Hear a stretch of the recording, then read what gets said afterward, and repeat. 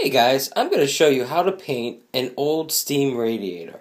If you like me, um, my radiator seems like better days, but what we're going to do is make this look brand new.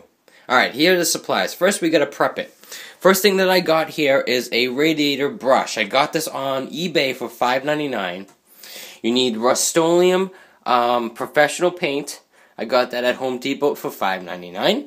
And tape and also you need some paper to, you know, to prep the wall so when you paint it, um, paint won't go everywhere. Alright, let's start off by cleaning your radiator. First right here is the brush. What I have to do is get all the dust and all the creases out of uh, the radiator because when you're painting it, you don't want to make sure your radiator is dirty because then it won't come out nice. So basically you just go through here and, uh, you know, just scrub it really, really, really well you got to do is get a small vac, or if you get a heavy vac, that's fine, and just, you know, vacuum around the areas that you just cleaned the radiator. Alright, so once it's all clean, what do you actually have to do now is get some tape and some cardboard and basically just make a frame around the radiator. You want to do that so uh, you don't get paint all over the place. And the other thing is, is that, uh, you know, the fumes are really bad. You need to wear a mask. Alright, once you have prepped the radiator, as you see here, it's not the prettiest thing, but hey, at least all the paint will go away. I mean, it won't stick on.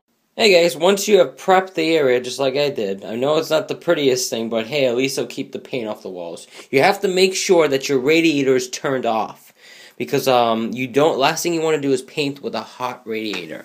The other thing you have to do is take this valve off, and it's very easy. All you got to do is just take it and spin it off. You don't want to clog this out because if you do, this is what the uh, the pressure releases out of, and the last thing you want to do is paint over that. All right, guys. So uh, don't forget to wear your mask. When you're painting, you want to make sure that you're a good foot, foot and a half away while you're painting. And go over it a couple of times. Don't keep spraying the same area and it'll start dripping.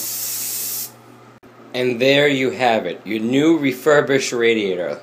As you see, with a matter of about $20 and about 30 minutes, you could have a great looking radiator. So spending money on those covers or even buying a new radiator. Alright guys, I hope this uh, video is helpful. And if you have any questions at all, please go in the comments below. Till my next video, Take care, guys. Bye.